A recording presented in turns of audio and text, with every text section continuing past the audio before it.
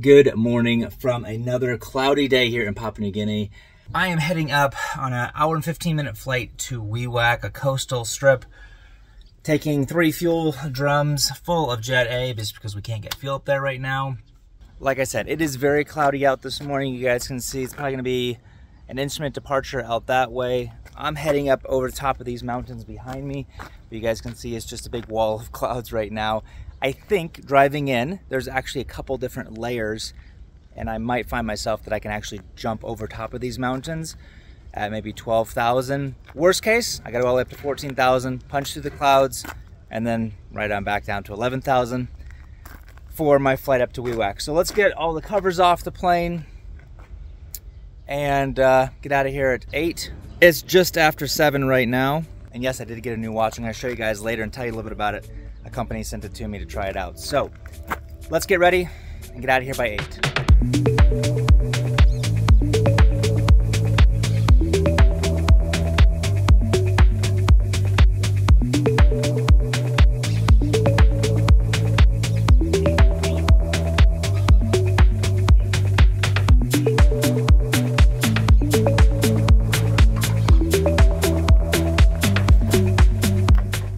Focusless seat, you can put him lo second paro, kind of same.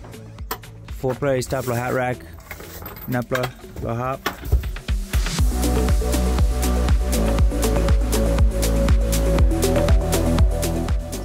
Let's go through what I have on the plane, walk through my weight and balance, and what my plan of action is for today. This is just my DFR here. All right, so just starting at the top here, this is all the tabs we have up here, the nav tab. This is what I'm gonna be doing for my fuel. So I've got 1260 coming out of here, which gets me back here, round trip fuel with my IFR reserve, 480 pounds. Next page over, weight and balance. Up here says I've got 1260. They said I had 48 in the front pod. I've got one seat in the second pod. I've got four seats in the back. And I also had, uh, let's see, 10 kgs way in the back. And then these three drums, 555 kgs divided by three is 185. Actually, no, no, we want 555 divided by two, 277 and a half. So 277.5, 277.5 puts me right there. If I click on that, shows where I am takeoff. And as I'm burning fuel, I'm actually moving it forward. So that all looks right. I've got 19 kgs remaining, which also I've got on, let's go back over here to normal equipment. I have, I don't have my fuel ramps, but I have my fuel boards and straps. But yeah, I do actually have those. So now, let's do all legs. That puts me seven kgs over. So what I can do is I can take off a couple of other equipment items that I do not need for this. Let's see, I can do my overnight covers. I can leave those here. I can leave my scale here if I wanted to. Um, let's see, and let's do the window washing. So that's eight kgs right there. Let's do all legs, and that brings me back down to just one kg, two pounds underneath my max gross weight getting out of here. Too easy. All I have now is to depart. Let's flip on our V2 track down here. That way I can connect to this. That way I can send my messages from my iPad to our flight coordinator when I depart, when I land, how much fuel I have, how many people on board I have, things like that. So that is next. Let's get started and then we're going to go over the weather while everything's warming up because it's going to be very cloudy, I think, getting there today.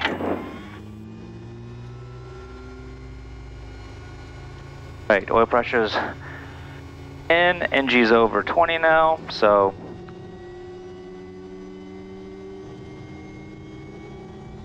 To the NG, it's over 35. Now my eyes go up to ITT, and doesn't really do much. 630.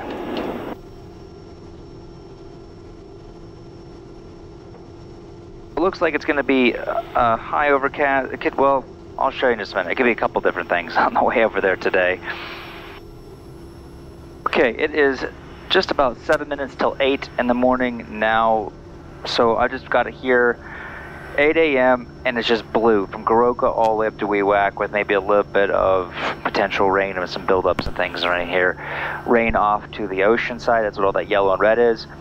Not really worried anything about that. All the blue just means it's going to be very cloudy. So the next thing I'm going to check is we'll check our satellite and that will tell me if that blue is just clouds or if it's just a lot of moisture. So it looks like as we get into Wewak area from about 20 minutes out, looks like there might be some rain getting in. I did get a text a minute ago saying that it's just a high overcast and clearing in Wewak itself, so no dramas there. It looks like just all this white is just gonna be a bunch of clouds. So I can click on low clouds, or I'm sorry, let's see, low clouds. Getting out of here, obviously a little bit, in that area, kind of where that rain was forecast to be, it's pretty good. So I can click on medium clouds, and they're just everywhere. So overcast broken pretty much everywhere. So we'll see how much IMC time I get on this flight. But it doesn't look like it's like built up weather yet. I mean, it's only 8 in the morning, so it should be pretty nice. We got 1260 on the fuel there. I need to connect my iPad now to the airplane. We'll go to Bluetooth, and we are in Kilo this morning, connected. So when I come back, it gives me this option down here. There we go, where I can hit send for full up. I believe I filed for 11,000. Let's go back over here. No, 12,000. 11,000 on the way back. So let's go back to depart, hit send. Takeoff performance is 63 knots for rotate, I hope we got that. Our fuel, our caps are just checked, and our selectors are both on. Controls are good, TAWS is active right now, which is in instruments all the way across. We basically do like a Z check Everything is what I'd like it to be. Flaps are set, indicated and verified. The trims are set. Goroka Tower, good morning, November Tango Kilo. Request taxi, Wewak, 1 POB. 17 Kilo Gruto, monitor right. And taxi to runway 17 left into and backtrack, can line up. Wind light in view, QNH 1022, time check 56. Morning, Roland. Clear to uh, backtrack 17 left. And again, QNH please, no Tango Kilo. QNH 1022. 1022, thank you. No, thank you. Clear left and right. I'm be 50 knots by that taxiway right there, else I'll be stopping on the runway just do heavy reverse if I'm going off as cut off, pull off, or cut off, pull off, and shut off. After takeoff, we'll pitch for 85 knots, go to lowest terrain as we can, considering our EPL. That doesn't work, we're going to go ahead and feather it, then cut off, pull off, and shut off. For 85 initially, full flaps, 80, hit my emergencies, masters, crack my door, and call tower if I can. It's odd, Air Niugini's plane is here. They must not have been able to get out yesterday or had maintenance issues. That's different. I don't think I've ever seen one of their planes this early in the morning here. Definitely didn't come in this morning. All right, oil temp is up to 52 degrees Celsius now. We got to wait up until 55 before we get out of here. Looks like it's getting pretty nice. I've got a big hole over there. I was originally going to do my instrument departure, but I'm seeing already 15 miles now, so I don't need to do that. I'm just going to go out here, circle up, potentially head out the Bennett Gap, or potentially head out behind me. So let's come in here and put in where we're going. Going up to Wewak. Coming out of here, I've got a couple options. You can come out here and head up to the Bennett Gap and go. Come out here, do a couple circles, and then head back straight out behind me through the Oceloka Gap. If it's clear. So we'll go out here, do a couple turns and see what it's like, and then determine. All right, we're 55. So ignition condition, we've got lights and strobe. November Tango Kilo ready for departure. November 10 Kilo and Ryan, your preferred turn? Uh, left hand turn out today please, November 10 Kilo.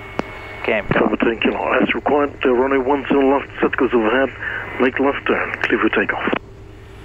What's up left, clear takeoff, set course overhead, left turn, over 10 Kilo for takeoff. Ignition condition, flaps 20, fuel and harnesses. 1390 on the torque, rotate 63.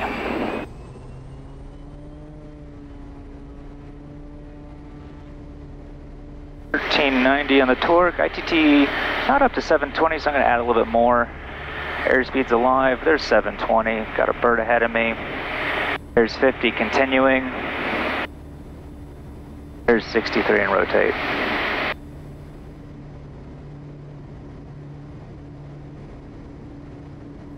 Up 740, there's another bird. Lots of birds this morning. Bring our power back just a tiny bit. All right, looks like we've got a couple really thin clouds right here. Probably 500 feet, kind of just scattered. So I'm just gonna go ahead and make my turn out right this second.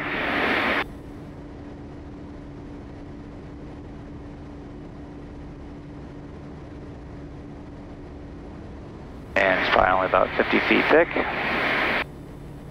Already over it. Okay, so yeah, we're gonna head out this way. I'm gonna get out a little bit further. Once I get cleaned up, turn left to see if I can head out behind me or not. I've got to get up to around 10,000 just to get over top of the ones behind me if there are any clouds. And if it's not looking good and Binna's looking good, I'll probably just head out the Binna. Alright, there's 10 degrees of flaps over 85. 30 degrees of flaps. A prop on back.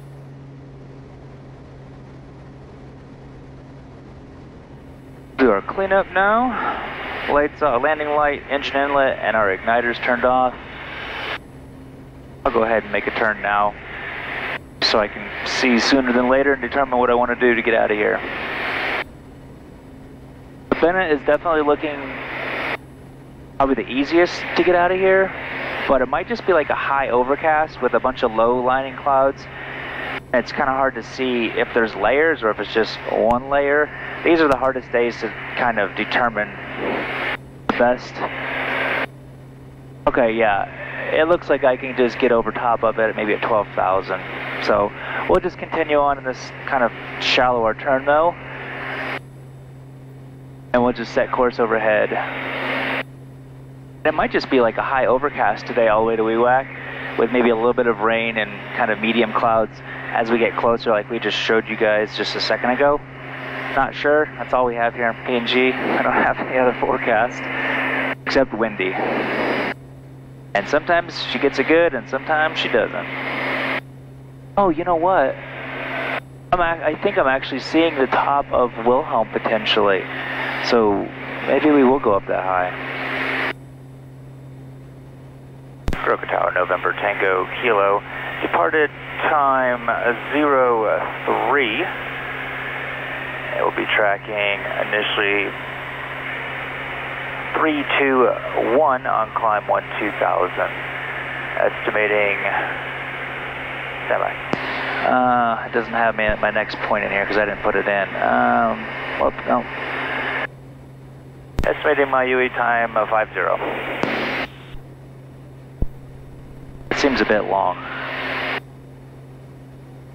Number 10 kilo, 1 2000, and contact Moresby on primary VHF 120 decimal 169 HF 65908 at 15 miles.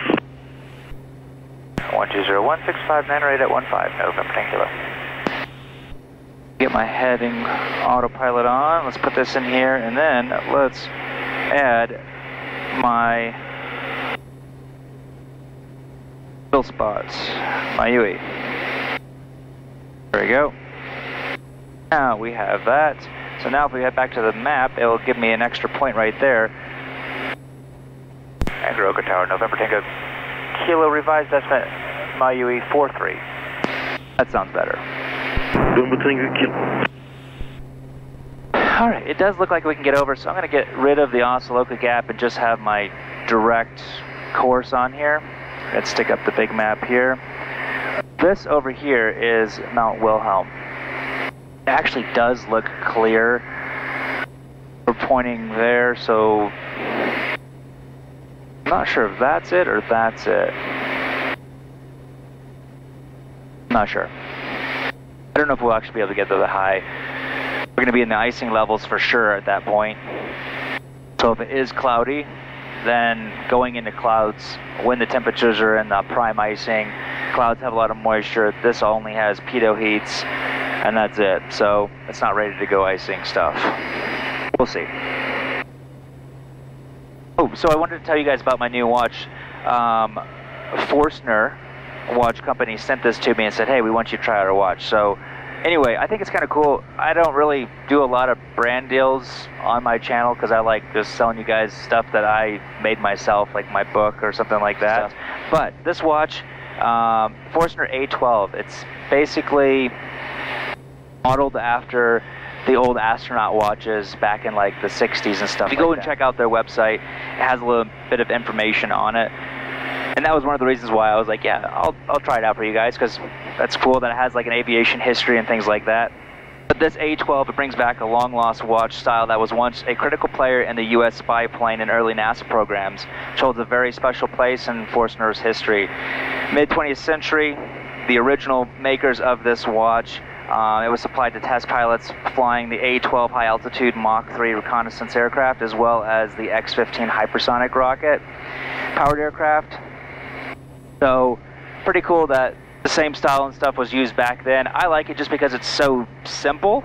I like really simple watches. It doesn't have any numbers on it or anything. That's the kind of watch that I really like. So just the fact that it did have some aviation history and stuff, go check out their website. It's well priced as well. I think it's pretty cool watch just because it has a retro feel to it and stuff. So anyway, all right, it actually does look like Wilhelm is clear.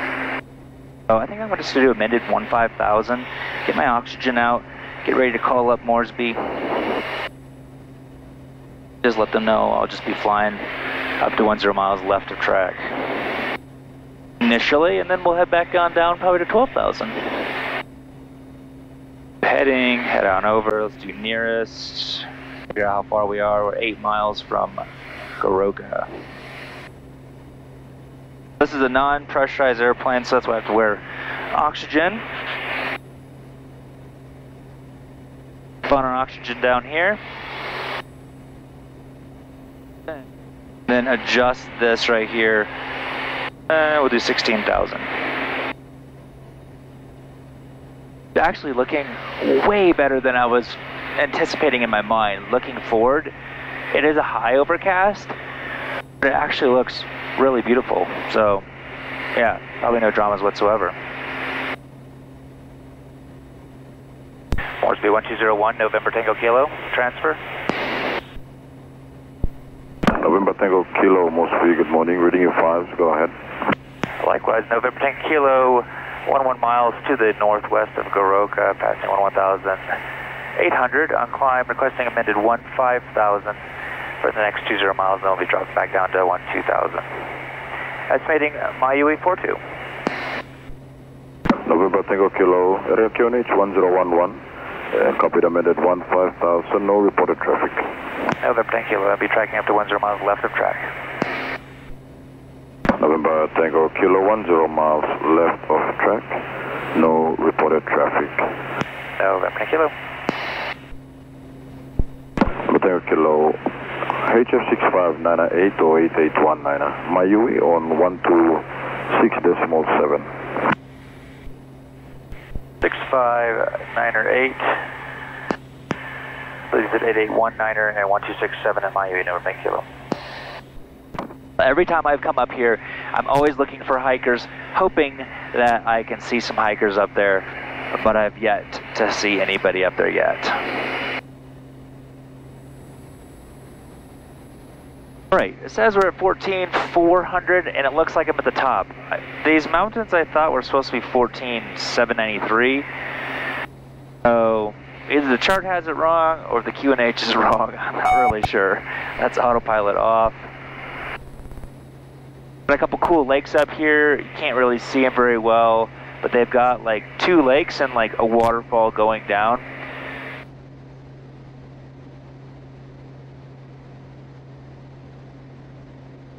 Caution, terrain. Oh, yes, thank you. Caution, terrain.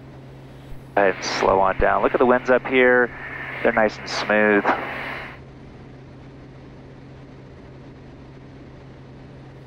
You can even see like a little bit of a rainbow way out there. Well, let's see if there's any hikers up here at 15,000 today. Don't see anybody on that ridge. Man, I've never done the hike up here, but it's definitely on my bucket list. 500. Oop, don't see any. That's too bad. All right, well, on to Wewak now. We'll head on down from here. Enjoy the scenery as we go. It's just, it's, yeah, it's so beautiful here in PNG. All right, let's head on back to get on course again. 500. Bring our torque back on up to 1250 and then trim for the descent.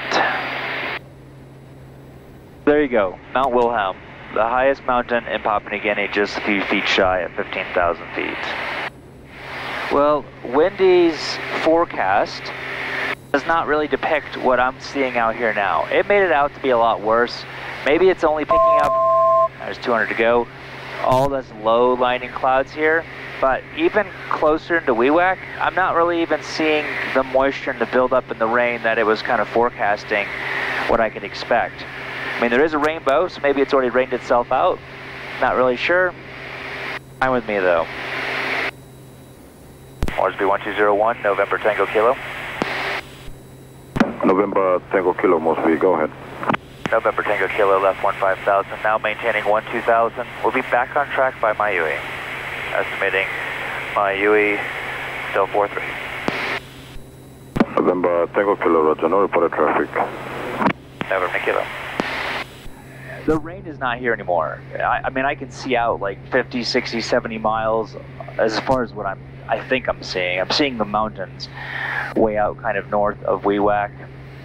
It looks like I should have no issues getting in. I'm almost to my, so I'm going to be calling up them in just a second. Let's go ahead and switch this over. We'll switch this to 126.7 and push it over.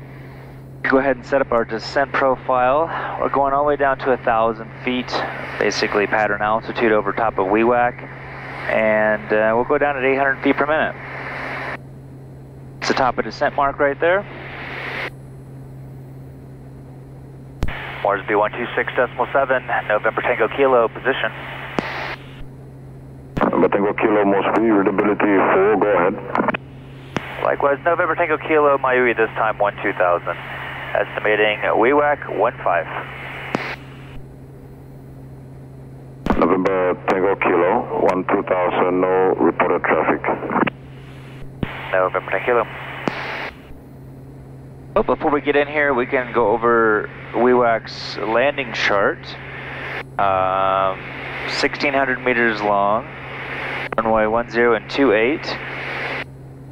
It says it has ATIS. I've never heard ATIS, but let's give it a go today and just see if. if November Tango Kilo, confirm uh, back on track.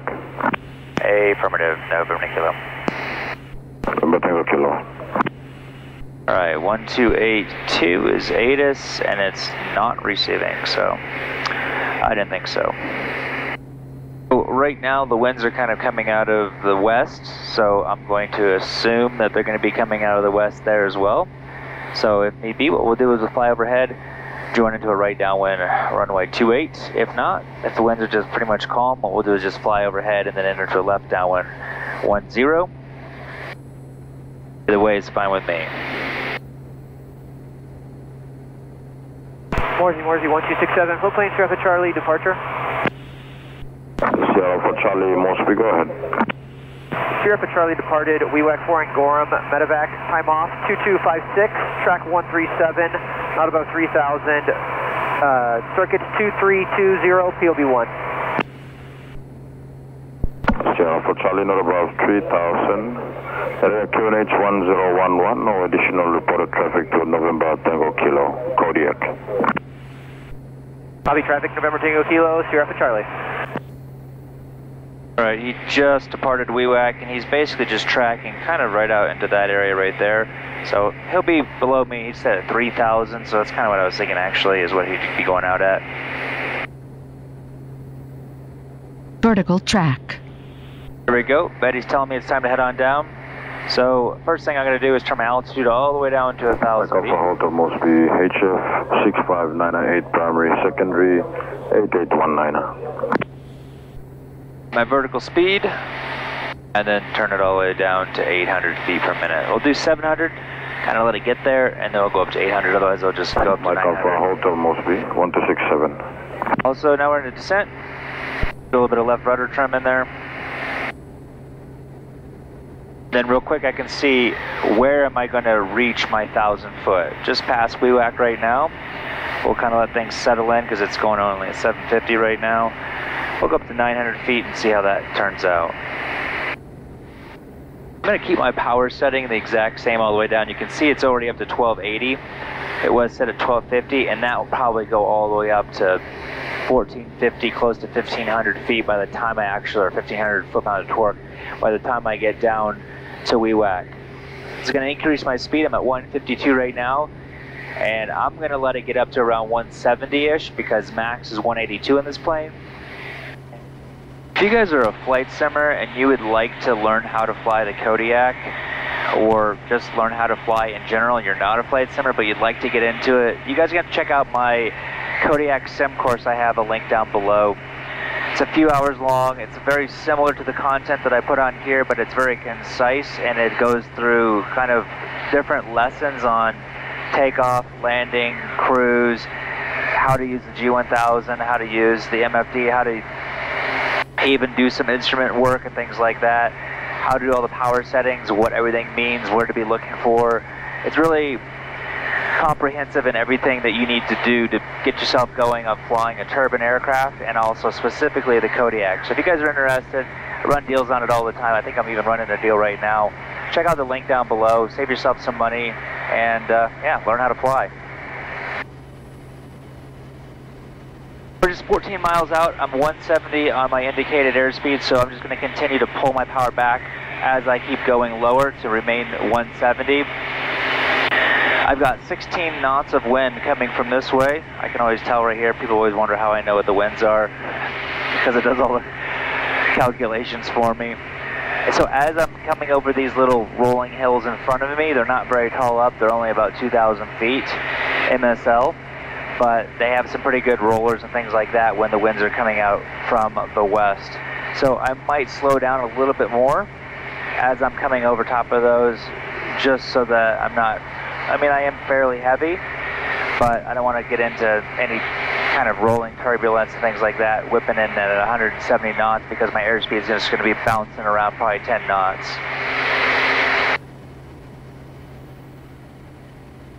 Moresby 1267, November Tango Kilo in the circuit. Wewak, cancel SAR. Tango Kilo, Wewak salvage terminated. November Tango Kilo. Looks like I've got 22 knots, so I am going to go ahead and land on runway 28. All stations, Wewak, November 10 Kilo, will be flying overhead to join into a right downwind 28. Wewak.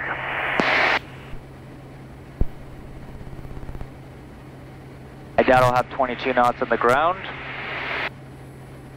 I guess if I were like 7 to 8 at most, but we'll see. But if it is whipping this way, I'm going to expect some wind shear close to the ground as I'm coming in on final. Oh, Going 73 final, 83 on base, and 93 on downwind.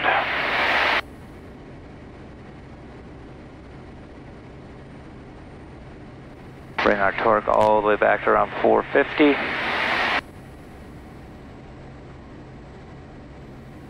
Alright, winds looks like they're straight down the runway. Can't really tell, but not really that strong on the ground, doesn't look like. Oh, yeah, six or seven knots.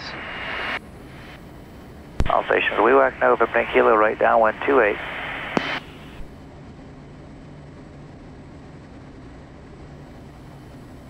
Then once we get here to the coast, we'll go base and slow to 83 knots. Just pull my power back. That will slow me down. Everything else, pitch, everything else stays the same. Once I get down to 83 knots, then I'm just going to be adjusting my power to be able to maintain that 83 knots.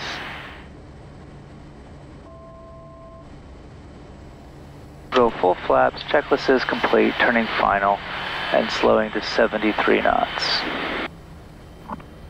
Alright, still 16 knots at this altitude, so expect wind shear over the golf course, or what used to be the golf course.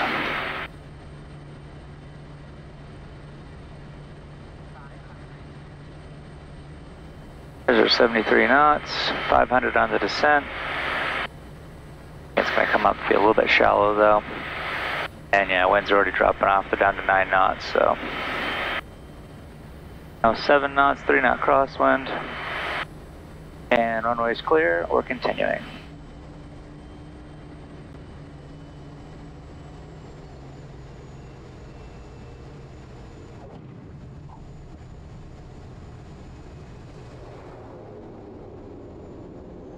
There we go. You guys want to see the return flight? I'll see if I can record a time lapse back to Goroka. Stay tuned. That's it. See you guys next time.